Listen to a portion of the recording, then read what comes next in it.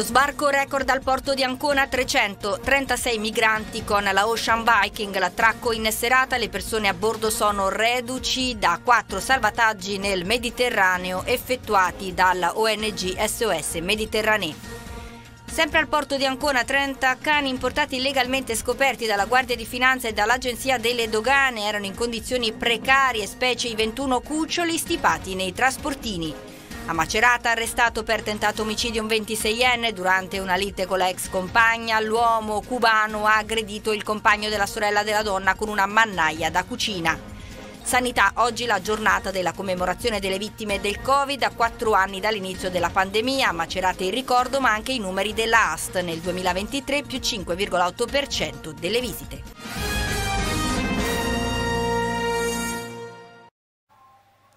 Buonasera e bentrovati a questo nuovo appuntamento con il nostro notiziario. Dunque in primo piano lo sbarco ad Ancona della Ocean Viking, l'attracco alle 17.22, eh, 336 migranti salvati in diverse quattro operazioni nel Mediterraneo e appunto stanno sbarcando proprio in questi istanti dal al porto di Ancona. Vi stiamo raccontando quello che accade con una diretta che abbiamo eh, aperto aperto dal tardo pomeriggio, allora ci colleghiamo subito con eh, Giulia Boschi per un racconto estemporaneo di quello che sta accadendo in questo momento. A te la linea Giulia.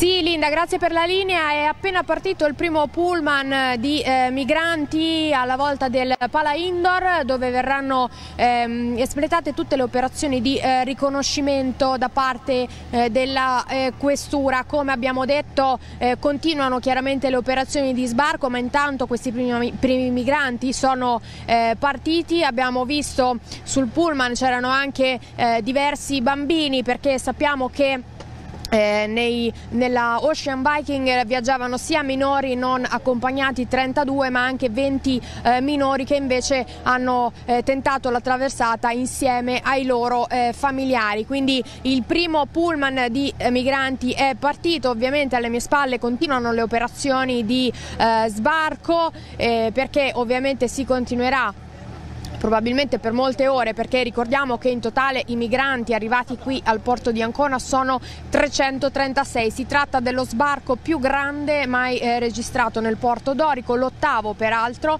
da eh, quando gli sbarchi qui sono eh, cominciati e quindi eh, si proseguono le operazioni eh, dalla Ocean Viking, la nave di SOS Mediterranee. Sappiamo anche che tra i migranti ci sono due donne incinte alcune persone che invece eh, avevano bisogno di cure ospedaliere più eh, importanti e quindi alcuni di loro abbiamo visto anche delle ambulanze partire, quindi alcuni di loro probabilmente sono già stati trasferiti all'ospedale regionale di Torrette di Ancona per le cure del caso. Sappiamo inoltre che eh, nel fine settimana appena trascorso 23 eh, migranti sono stati fatti sbarcare prima di arrivare al porto di Ancona, al porto di Catania, proprio perché eh, le loro condizioni di salute erano critiche e quindi non era possibile arrivare qui, sono stati fatti scendere prima, il trasbordo è stato fatto a largo però del porto di Catania in un'altra barca proprio perché la Ocean Viking non aveva avuto il permesso di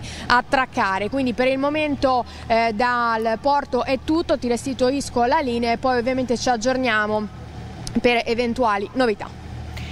Sì Giulia, ci collegheremo a breve, ecco appunto questa è la situazione, sappiamo che eh, appunto ci sono delle persone tra questi più di 300 eh, che sono reduci da un vero e proprio naufragio dove sarebbero morte 60 persone tra le onde del Mediterraneo. Ma eh, attraverso il contributo andiamo a capire meglio i numeri e soprattutto l'attività che riguarda la Croce Rossa impegnata impegnata in prima linea anche in questo sbarco. Sentiamo.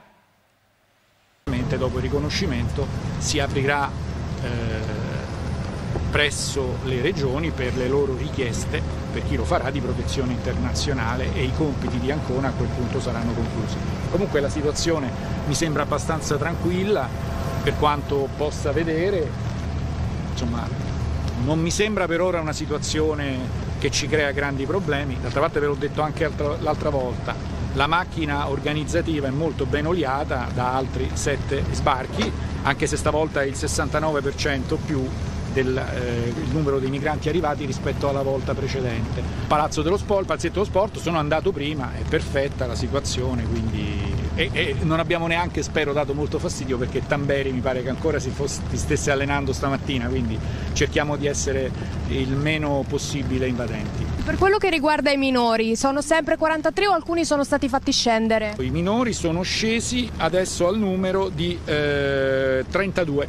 L'età più o meno? Beh, l'età è molto diffusa, si va da piccolini piccolini, 5-6 anni fino a 12, 13, 15 anni, 16. Poi non so se nel riconoscimento usciranno altri minori che al momento non lo sembrano. Scusi, ma questi 32 sono sempre non accompagnati oppure... Sempre non accompagnati. I minori accompagnati, come vi ho detto prima, sono con le famiglie e seguiranno le famiglie fuori dalle Marche. Sono 304 quelli che dobbiamo dislocare e più o meno saranno in parti uguali, tra Lazio, Puglia e Toscana. Poi di questi, del complesso, compresi i minori, 124 sono siriani, che è l'etnia nettamente dominante, poi 56 pakistani, 27 egiziani, 27 maliani e poi altre 21 nazionalità. In totale il 53% sono medio orientali o asiatici, il 47% sono africani. Mi scusi, questi bambini invece che resteranno qua nelle Marche, eh, tra le 5 province, dove? 10 Ancona, 10 Pesaro Urbino, 4 Fermo, 4 Macerata, 4 Ascoli Piceno. Una volta che saranno stati identificati comunque la parte nostra è di eh, dargli il tè caldo, pasti in accordo con la prefettura, vestiti, scarpe e giochi per i bambini e diciamo che poi la parte grossa che facciamo noi è al palazzetto, una volta si trasferiranno lì al palazzetto noi siamo con loro, giochiamo con i bambini nell'attesa che loro facciano tutte le operazioni di riconoscimento, quindi questa è la nostra parte che facciamo noi, di, di, di veramente di accoglienza e di prime necessità necessità che gli diamo. Ovviamente la difficoltà della lingua è notevole, però i bambini, con i bambini dialoghi con eh, il comportamento, con il sorriso e con eh, i giochi. E quindi noi gli diamo questi giochi, ci giochiamo con loro, anche se non parliamo la stessa lingua comunque è, è un'emozione che comunque loro ti danno, sono sempre quando li vedi che sorridono, poi dopo per te è ripaga, diciamo, ripagamento di tutto quello che è la fatica che prendiamo qui poi oggi con la pioggia. Un presidio di solidarietà ma anche di protesta contro le leggi disumane, così è stato definito quello che ha accolto eh, la nave Ocean Viking, quindi un presidio che ha visto protagonisti, eh, associazioni e sindacati. Allora sentiamo le motivazioni. Il sentimento è quello dello sdegno. Poco lontano dalla banchina 19 dell'attracco della Ocean Viking, con a bordo i 336 migranti soccorsi in mare, sindacati e un gruppo di associazioni si sono riuniti in presidio nel tardo pomeriggio ad Ancona. CGL Cisde Will Università per la Pace, AMPI, Amnesty, Free Woman, Associazione Gulliver Sinistra Universitaria, Libera, Associazione Festa per la Libertà dei Popoli, Rete Welcome, Gruppo Anarchico Krostad, Terza Via, Associazione Senza Confini, Ribò, Unità di Strada, Gruppo Immigrazione Immigrazione Salute delle Marche. È inaccettabile eh, che si possa far eh, passare 1450 km sopra una nave a donne, uomini e bambini in condizioni di salute precarie, pessime. È stato previsto l'approdo a Catania, sono stati fatti scendere soltanto 23 persone migranti. Ci domandiamo perché eh, non dare soccorso immediatamente a tutte le persone che invece avevano condizioni di salute così, così precarie. Ma il presidio per di oggi è anche per esprimere la nostra solidarietà e la nostra accoglienza a, alle donne, agli uomini e ai bambini che stanno, che stanno arrivando, perché riteniamo disumano che al giorno d'oggi si possa morire di fame, di sete o annegati soltanto perché si cerca di sfuggire a, a situazioni eh, di vita estremamente precarie in paesi in cui la povertà o le guerre eh, la fanno, fanno la, voce, la, la, voce, grande. Quindi noi vogliamo proprio esprimere a, a, tutte le donne, a tutti gli uomini che qui possono trovare eh, persone pronte ad accoglierli e a dare, a dare loro aiuto. E torneremo a dare aggiornamenti appunto sull'arrivo della Ocean Viking eh, tra poco, ma andiamo in onda, andiamo, proseguiamo con il nostro notiziario sempre alla Porto di Ancona, tra l'altro 30 cani importati illegalmente scoperti dalla Guardia di Finanza e dall'Agenzia delle Dogane, in particolare difficoltà, eh, più di 20 cuccioli stipati in dei trasportini. Sentiamo Andrea Fiano. Al porto di Ancona la Guardia di Finanza e l'Agenzia delle Dogane dei Monopoli hanno salvato 30 cani importati illegalmente. Nel corso dei quotidiani controlli effettuati sui mezzi che sbarcano dalle navi di linea in arrivo nel porto dorico, Fiamme Gialle e Dogane hanno scoperto in un'auto proveniente dalla Turchia e sbarcata da una motonave proveniente dalla Grecia 30 cani trasportati in condizioni assolutamente precarie, in violazione a quanto previsto dalle normative in materia di protezione degli animali da compagnia e di conseguenza introdotti illegalmente in Italia. I due cittadini bambini a bordo della vettura, un uomo di nazionalità turca ed una donna tedesca, avevano 21 cuccioli stipati in tre trasportini e 9 cani adulti di piccola taglia trasportati in un unico box. La coppia, proveniente dalla Turchia e proprietaria degli animali, ha tentato di introdurli nel territorio dell'Unione Europea senza che fossero provvisti della prescritta documentazione e senza alcuna attestazione riguardo al rispetto della profilassi prevista dalla normativa veterinaria vigente. I 21 cuccioli sono risultati avere meno di 90 giorni di vita, età minima richiesta dalla legge per poter essere trasportati e privi di microchip e di qualsiasi tipo di documentazione. I nove cani adulti di piccola taglia e dotati di microchip erano accompagnati da documentazione sanitaria incompleta. Gli animali, a causa delle modalità di trasporto evidentemente inadeguate, si presentavano in condizione di forte stress, manifestando nervosismo e un forte stato di malessere. Sono stati subito sottoposti a visita, accertate le loro condizioni di salute, si è proceduto alle formalità previste per regolarizzarli applicando i prescritti microchip per l'identificazione. I 30 cani sono stati sequestrati e i due proprietari denunciati all'autorità giudiziaria per traffico illecito di animali da compagnia e maltrattamento. Gli animali sono stati affidati e sono ora custoditi presso un'idonea struttura della provincia di Ancona a disposizione dell'autorità giudiziaria in attesa dei successivi provvedimenti.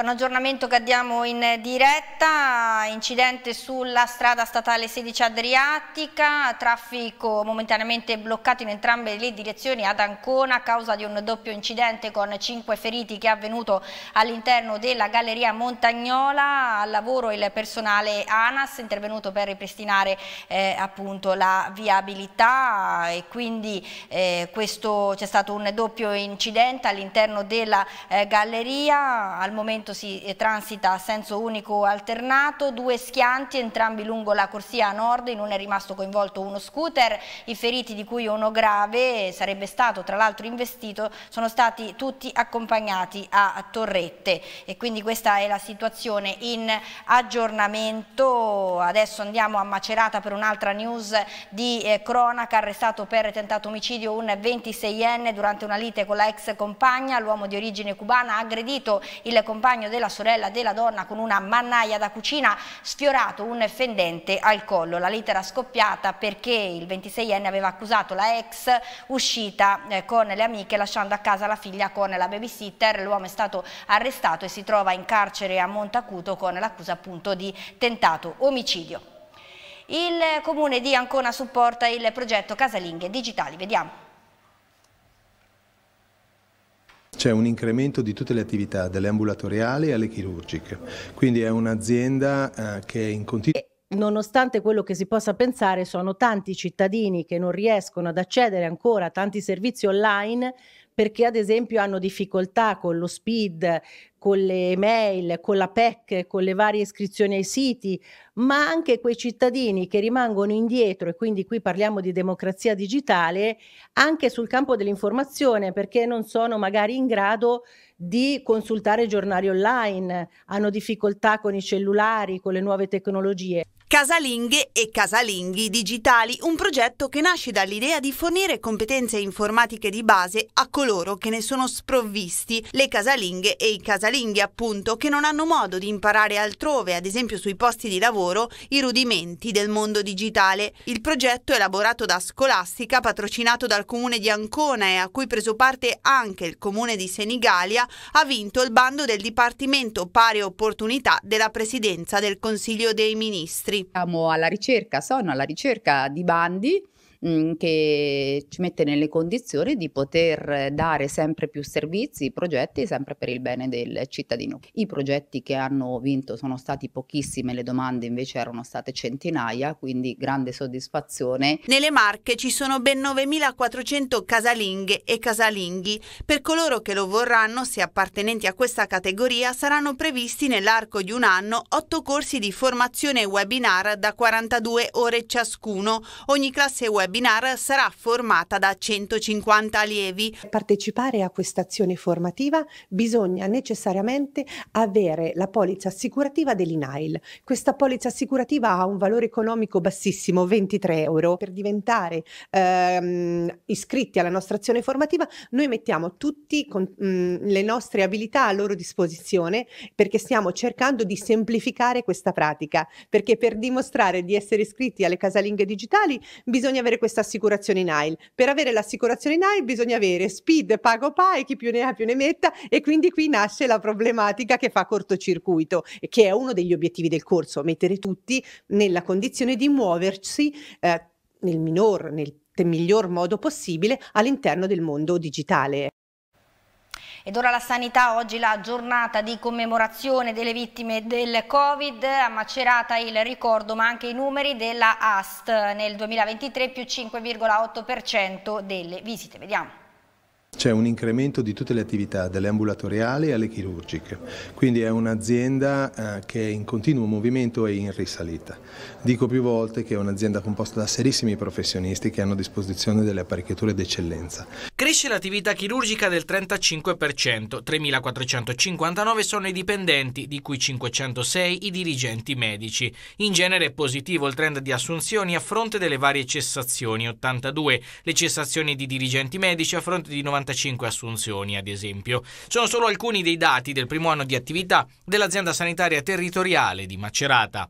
I dati sono mm, di una domanda sanitaria in continuo aumento a cui ha corrisposto un aumento di prestazioni sanitarie in tutta la regione ma in particolare nelle ST di Macerata che lo voglio ricordare durante i due anni di Covid aveva coperto i servizi con il proprio personale eh, nello stabilimento Covid di Civitanova Marche. A proposito di Covid Hospital, Macerata ha ricordato le vittime della pandemia nella giornata nazionale di commemorazione. Il Covid Hospital è stato smantellato e la TAC eh, 128 strate che era allocata all'interno eh, del Covid Hospital di Civitanova viene trasferita all'ospedale di Recanati secondo una prospettiva di scenario che è stata delineata negli atti di indirizzo della nostra regione. A Civitanova verrà acquistata una nuova TAC. Per quanto riguarda i fondi PNRR, gli investimenti in arrivo e la realizzazione di case di comunità valgono per 15 milioni 500 mila euro, mentre per gli ospedali di comunità 3 milioni 490 mila euro. Per le centrali operative territoriali stanziati grazie al PNRR 519 mila 225 euro.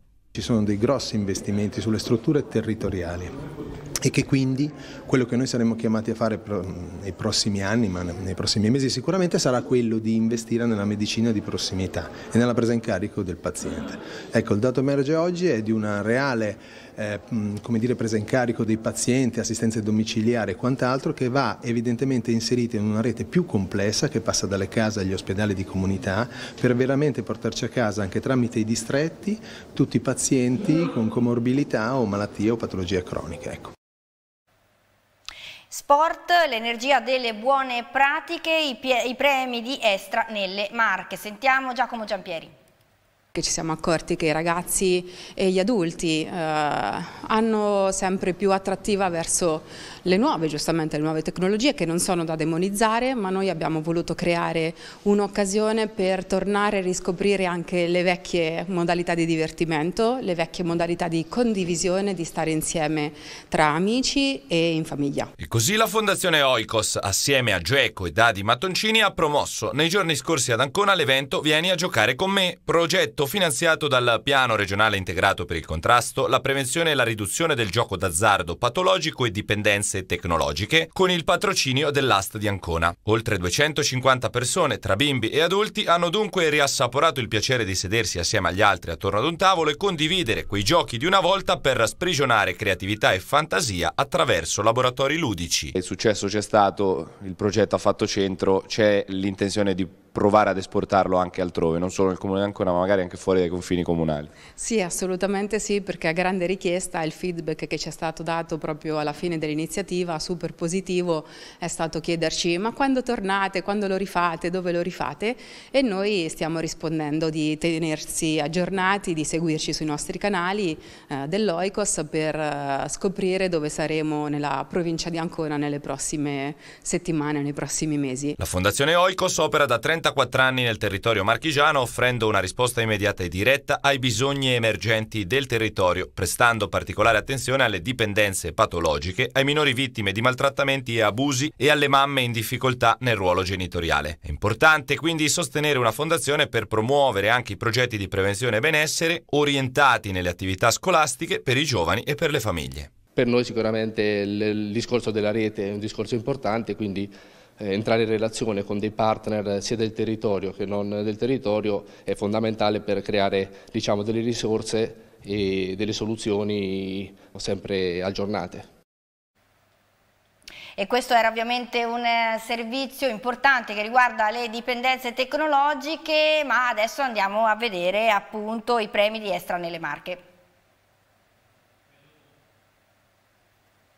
A Civitanova Marche lunedì 18 marzo è andata in scena la terza premiazione della Call to Action L'energia delle buone pratiche, promossa a livello nazionale da Estra in collaborazione con il CONI e il CIP. Noi ci contraddistinguiamo da, da tempo per essere una, un'azienda che opera sul territorio e ha come obiettivo quello di restituire valore al territorio in cui operiamo che non deve essere uno slogan ma deve poi concretizzarsi in azioni eh, come questa iniziativa sostegno economico alle associazioni che lavorano quotidianamente per la diffusione dei valori dello sport. L'obiettivo è dare lustro a quelle realtà che, attraverso lo sport, promuovono i valori della solidarietà e dell'inclusione sociale per abbattere qualsiasi barriera. Il fatto che nella nostra regione ogni anno siano aumentati i numeri di partecipanti, di società partecipanti a questo premio, la dice lunga sulla sensibilità che la regione Marche ha nell'aspetto sociale dello sport. Quest'anno abbiamo superato le 30 società e pertanto questo ha fatto scattare anche due riconoscimenti. Due premi, uno per il CSI di Ascoli Piceno, già promotore della psicomotricità nelle scuole dell'infanzia e di attività per i più piccoli nelle aree del sisma del 2016 e oggi vincitore grazie allo sport portato nel carcere di Marino del Tronto. Noi cerchiamo di creare un ponte tra quello che è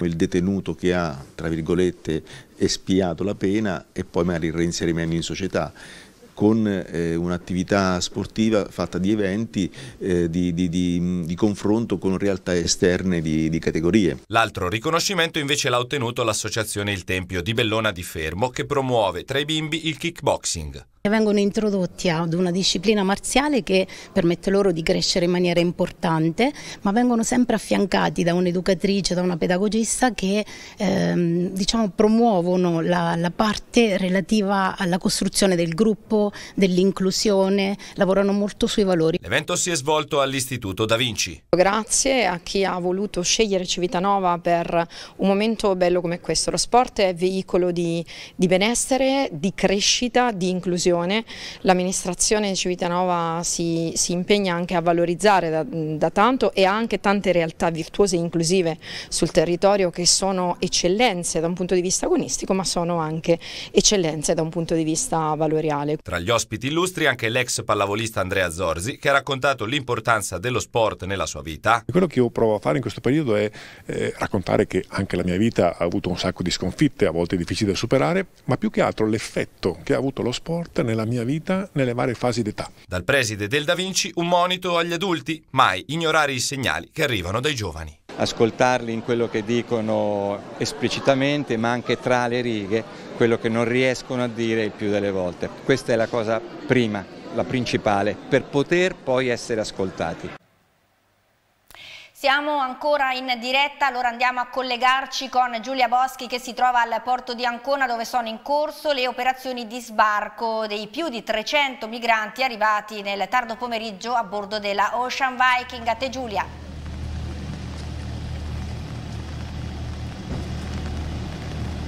Sì, grazie Linda, siamo in compagnia del prefetto di Ancona Saverio Ordine che ci ha raggiunto e che ci darà adesso gli ultimi aggiornamenti, soprattutto sui minori, ma sui primi 50 migranti no, che sono sbarcati li abbiamo visti andare via. Sì, diciamo che è partito il primo pullman verso il Palasport che port ha portato i primi 55 sbarcati, tutti i minori non accompagnati erano lì dentro, più altre 23 persone, in particolare nuclei familiari.